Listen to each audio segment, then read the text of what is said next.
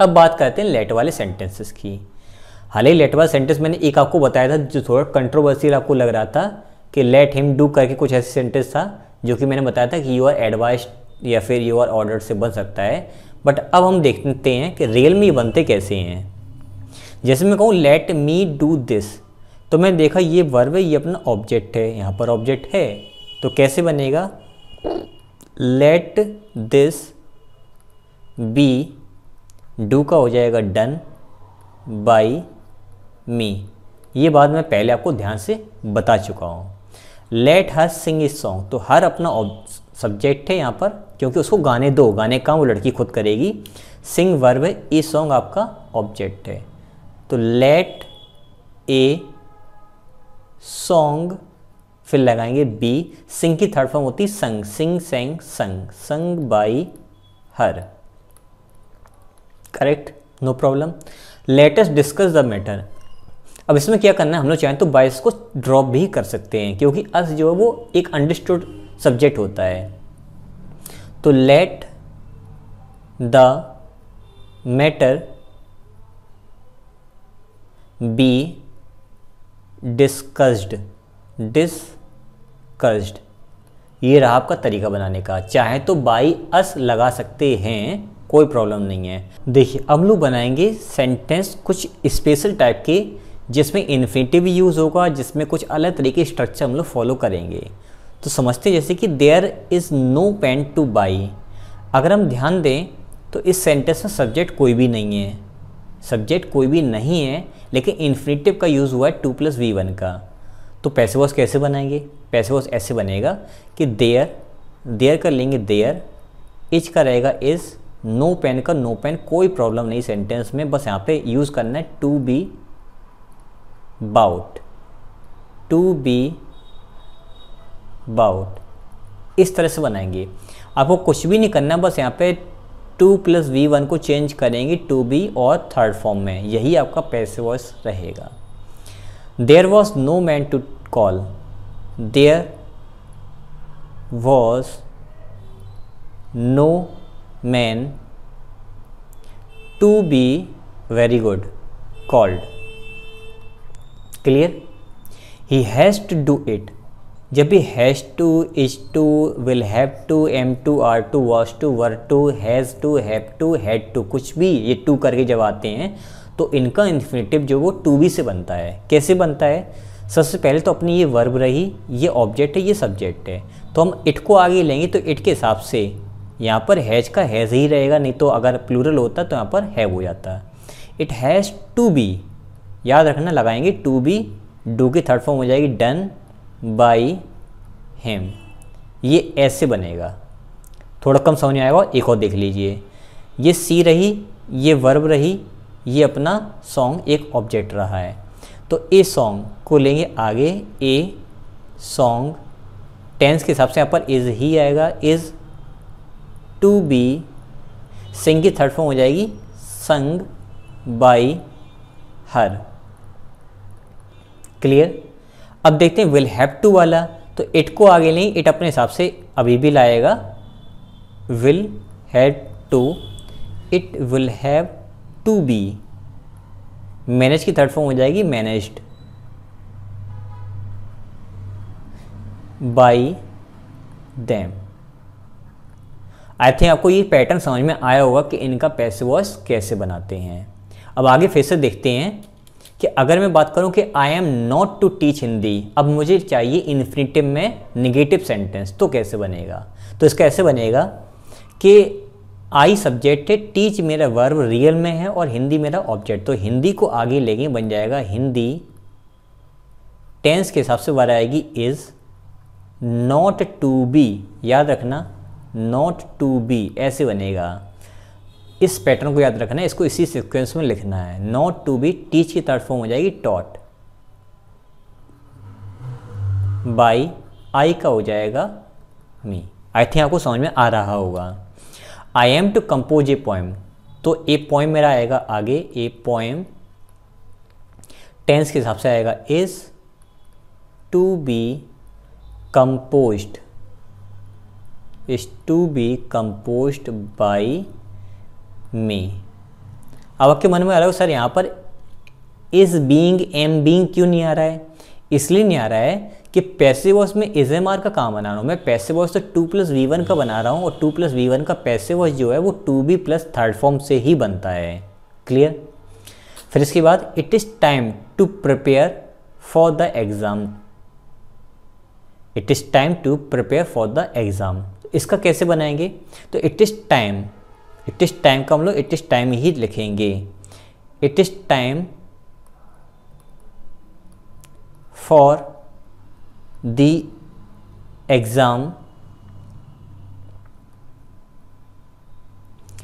to be prepared.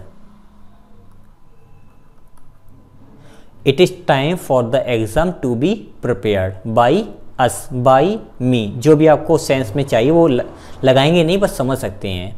अब ये for क्यों आया टू भी कैसे हुआ, वो आपको मैं अगली सेंटेंस से समझाता हूँ। It is time to do our work हमें करना क्या इट इज़ टाइम का इट इज़ टाइम ही लिखना है।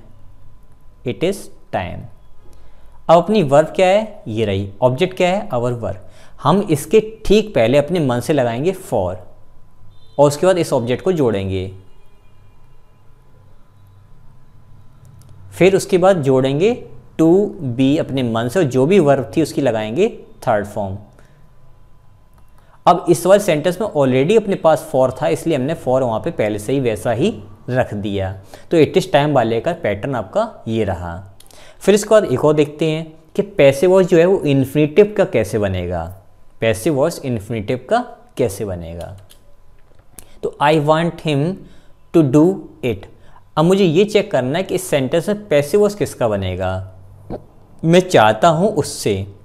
सेंटेंस का मतलब क्या हुआ? आई वॉन्ट हिम मैं उससे ही चाहता हूँ। I want him to do it मैं उससे ही चाहता हूँ कि वो उस काम को करे। यानी कि इस डू इट जो है ना, इस काम को करना, उसको मैं नहीं करूँगा। मैं ये चाहता हूँ कि वो इस काम को करे। इसका मतलब आई का जो वॉन्ट यानी आई वॉन्ट जो है आई का वर्ब जो है वो वॉन्ट है। और हिम का जो वर्ब है वो डू है। अब पैसे वॉस में हमें क्या करना है? हमें इस वाले सेंटेंस का पैसे वॉस बनाना है। तो अगर हम ध्यान दें तो ये वाला तो स्ट्रक्चर सेम वैसे ही रहेगा। तो आई वॉन्ट का रहेगा आई वॉन्ट ये सब्जेक्ट है, ये वर्ब है, ये ऑब्जेक्ट है। तो ऑब्जेक्ट आगे आता है I want it to plus V one का पैसे वॉस बनता है to be. I want it to be do की थर्ड फॉर्म डन सब्जेक्ट जोड़ते हैं बाई से और जोड़ते हैं पीछे। ये रहा आपका तरीका। चीज़ें थोड़ी कठिन हो रही हैं, मैं जानता हूँ। काफ़ी मुश्किल होता है चीज़ें तैयार करना, लेकिन तैयार तो करना ही पड़ेगा, क्योंकि लेवल है एग्ज़ाम का। फिर एक और देखते हैं। He likes Mohan to read the book वह चाहता है, वह चाहता है, क्या चाहता है? कि मोहन उस किताब को पढ़े। तो रियल में काम क्या है? चाहना काम है कि किताब पढ़ना काम है। तो आप कहोगे, सर रियल में काम तो वो पढ़ने वाला है, लेकिन पढ़ने का काम करेगा कौन? ही करेगा कि मोहन करेगा? आप कहोगे, सर, मोहन करेगा। तो मुझे ये बात ये समझ में आ रही कि इस वाले सेंटेंस से तो हमें कोई मतलब ही नहीं है। तो इसको लिख दो as it is he likes इसके बाद ये मेरा सब्जेक्ट है, ये मेरी वर्ब है, ये मेरा ऑब्जेक्ट है। भले ही मैं जानता हूँ आपको to plus V one problem कर रहा हो as am are was work कहाँ चला गया, कोई प्रॉब्लम नहीं है। बुक को लेंगे आगे। He likes the book to be का बनेगा to be third form to plus V one का to be third form to be read by Mohan. I think आपको बिल्कुल क्लियर हो गया होगा। फिर से को देखते हैं।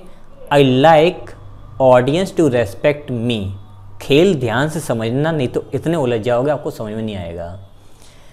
आई लाइक like, मैं चाहता हूँ ऑडियंस ऑडियंस से टू रेस्पेक्ट कि वो रेस्पेक्ट करें। किसकी? मेरी। मैं चाहता हूँ कि ऑडियंस आप लोग मेरी रेस्पेक्ट करें। तो इस सेंटेंस में ये ऑडियंस सब्जेक्ट है, ये इसका काम है और काम क्या है? करना, किसका करना? रेस्पेक्ट मी का। ठीक है। तो अब देखिए मैंने आई लाइक का तो आई लाइक लिखा। फिर मैंने क्या किया? यहाँ पे मी को लिया आगे तो मी का तो मी रहेगा, क्योंकि भाई वो लाइक के ही तो मी वैसे ही रहेगा ना। देखिए वर्ब के बाद तो ये मी का मी रहेगा ना। अगर ये आई लाइक ना होता तो आई हो जाता। बीच में रखा इसलिए मी का मी ही रहेगा। कोई प्रॉब्लम नहीं है। I like me to be respected by audience अब ये सेंटेंस बना तो एकदम करेक्ट है, लेकिन ये गलत है। ये सेंस के हिसाब से गलत है। क्यों? कि आई लाइक मी मैं खुद से चाहता हूँ सम्मान लोगों के द्वारा प्राप्त करना। तो यहाँ पर मैंने ये देखा कि यहाँ पर ये सब्जेक्ट और ये ऑब्जेक्ट दोनों सेम हैं। तो मैंने तो पहले यहाँ पर लिख दिया है तो इसका सही तरीका क्या बनाने का? इसका सही तरीका ये है आई लाइक मैं चाहता हूँ खुद को रेस्पेक्ट करवाना। तो यहाँ पर मी की ज़रूरत नहीं, क्योंकि आई यहाँ से पहले ही सेंस दे रहा है तो मैं जोड़ूँगा टू बी ये यहाँ से रिमूव हो जाएगा टू बी रेस्पेक्टेड अब यहाँ पे टीचर ऑडियंस लॉयर जो पहले से ही हिडन होते हैं, जो पहले से अंडरस्टूड होते हैं, उनको हम लोग नहीं लिखते हैं। ये हमने हिडन सब्जेक्ट या हिडन एजेंट नाम के ब्यूडर्स में देख रखा है ध्यान से। तो I like to be respected sentence अपना एकदम करेक्ट है। हम चाहें तो बाई ऑडियंस लिख सकते हैं या फिर ड्रॉप कर सकते हैं। तो सही तरीका लिखने का आपका ये रहा। फिर एक और देखते हैं। She has to see it और टू बिलीव इट अब यहाँ से दिमाग घूमना शुरू करेगा कि यहाँ पर इतनी सारी उलझने हैं, इतना सारा लॉजिक फंस गया है कि कितना कितना, क्या क्या करें। तो आइए सॉल्व करने की कोशिश करते हैं। अगर आप ध्यान दो तो ये सब्जेक्ट है, कोई दिक्कत नहीं है। ये अपनी हैज़ टू सी एक वर्ब ये रही, जिसका ऑब्जेक्ट ये है। और एक टू बिलीव और इसका ऑब्जेक्ट ये रहा। तो हम काम करते हैं कि दोनों में ऑब्जेक्ट इट है तो ले लेते हैं कॉमन मैथमेटिक्स की जगह की तरह से कॉमन ले लेते हैं। तो मैंने यहाँ पे लिख दिया इट अगर मैं ध्यान दूँ तो दोनों के लिए हैज़ कॉमन है, इसलिए हैज़ एक बार लिखा है। जैसे मैं पहले बता चुका हूँ कि जैसे कि विल और कैन में दोनों कॉल कॉमन था, वैसे ही। तो यहाँ पर हो जाएगा इट हैज़ टू बी अब इसका बनाएँगे। टू बी सीन फिर जोड़ेंगे और, फिर से जोड़ेंगे to be believed by she का हो जाएगा हर आई थिंक आपको थोड़ा कम समझ में आया होगा। देखिए, दोनों में इट सेम ऑब्जेक्ट है तो मैंने पहले ले लिया। दोनों में कॉमन हेल्पर कौन सी है हैज़ तो इट के हिसाब से हैज़ ही आएगा। इसका पैसे बनेगा to be third form to be third form और का लगाया और। To be first form to be third form by subject तो इस तरह से इसका बनेगा पैसे वॉइस नया पैटर्न हो सकता है, नई बातें हो सकती है, मैं जानता हूँ, इसलिए प्रॉब्लम हो रही होगी, लेकिन तरीका आपको सीखना पड़ेगा। ये नई लेवल पर हम चल रहे हैं एडवांस लेवल पर। Ram want someone to tell a story Ram चाहता कि कोई टू टेल स्टोरी कोई कहानी सुनाए। तो राम को चाहना तो ये कोई काम नहीं है। यहाँ पे राम वॉन्ट का, राम वॉन्ट रहेगा। यहाँ पे वॉन्ट्स हो जाए बल्कि राम वॉन्ट्स तो सम्मन सब्जेक्ट है टू टेल मेरा एक वर्ब और स्टोरी मेरा हो जाएगा ऑब्जेक्ट तो ऑब्जेक्ट को लाएँगे आगे। तो ए स्टोरी टू बी का हो जाएगा यहाँ पर third form to be told हमने सीखा था by someone somebody no one no बडी कुछ भी पीछे नहीं लिखते। जैसे यहाँ पे ऑडियंस को हमने छोड़ दिया था, वैसे हम लोग यहाँ पर बाई सम्मन छोड़ देंगे। तो ये सेंटेंस अपना करेक्ट बना है। एक और देखते हैं sentence he made you work ये आपका जो वर्क कुछ होती हैं जिनका नाम होता है पॉजिटिव वर्ब्स उसका ये पैसिव वॉइस है, पहला वाला बनाना है। तो ही मेड यू वर्क तो यू अपना सब्जेक्ट है तो यू को रखेंगे यू यू वर मेड देखिए, अगर मैं मेक को एक्टिव वॉइस में लिखता हूँ तो वहाँ पर अगली जो वर्ग, देखिए मेक एक वर्ब है और वर्क काम करना ये दूसरा वर्क है। तो मेक के बाद जो अगली वर्ब आती है, वो विदाउट टू आती है। मतलब एक तरीके से कर सकते हैं, केवल वर्क की फ़र्स्ट फॉर्म में आता है, वहाँ पे टू यूज़ नहीं करते हैं। बेयर इन्फिनेटिव का यूज़ होता है। लेकिन जब मैं इसका पैसे वॉस बनाऊँगा तो वहाँ पर टू का यूज़ करेंगे। तो you were made to work you were made to work by him एक बार फिर से सुन लो। जब मेक का यूज़ हम लोग एक्टिव वॉइस में करते हैं तो अगली वर्ब जो होती है वो केवल फ़र्स्ट फॉर्म में आती है, उसमें टू का यूज़ नहीं करते हैं। जब इसका हम पैसे वॉइस बनाते हैं तो हम मेट के साथ में, यानी जो भी वर्ब है, उसके साथ में हम लोग मेक की जो भी फॉर्म क्या थर्ड फॉर्म ही आएगी वहाँ पर। तो उसके साथ में टू भी लगाएँगे और वर्ब की फ़र्स्ट फॉर्म को वहाँ पर जोड़ेंगे। अब अगला देखते हैं। He show me do it उसने मुझे देखा डू इट, यह करते हुए। अब क्वेश्चन यहाँ पे दो आते हैं कि पैसे वॉइस बनेगा किसका? क्योंकि यहाँ पर जो पैसे वॉइस है, ये पैसे वॉइस सौ का भी बन सकता है और यहाँ पे डू का भी बन सकता है। कैसे बनेगा? सबसे सिंपल तरीका है कि ही सो मी डू इट तो इसका ऐसे बनेगा कि I was seen do it by him अब यहाँ पे ध्यान ही देना कि सी यानी कि सी सॉ सीन एक ऐसी वर्ब है जिसके बाद जो भी वर्ब रखी होगी वो हमेशा फ़र्स्ट फॉर्म में आएगी। तो मैंने भले यहाँ पे सॉ की थर्ड फॉर्म सीन यूज़ किया है, लेकिन तब भी यहाँ पर डू का ही यूज़ करेंगे। अब एक तरीका और भी है कि he saw it done, by, me. आपके मन में एक तरीका ये भी आ रहा होगा, लेकिन ये सही तरीका नहीं है, क्योंकि ही सॉ हुम उसने किसको देखा, उसने मुझे देखा। तो इसने सेंटेंस का पैसेवोस बन चुका है तो यहाँ पर अगला पैसेवोस बनाने की ज़रूरत नहीं है, क्योंकि मैंने इस वाले पार्ट को बना दिया है। इस वाले पार्ट का मैंने पैसेवोस बना दिया है। तो यहाँ पे डू इट अब डू इट केवल बचा हुआ है तो उसका पैसेवोस नहीं बनेगा। क्यों?